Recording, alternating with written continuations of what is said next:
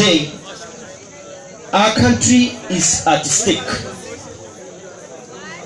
We youths, we have been sidelined, objugated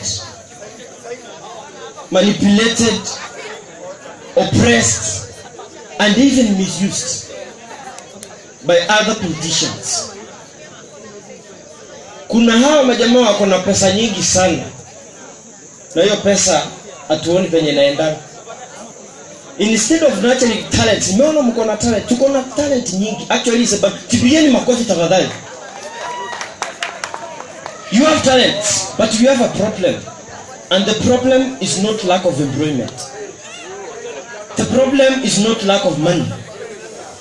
The problem is not lack of resources. The problem is not lack of knowledge. The problem is not lack of wisdom.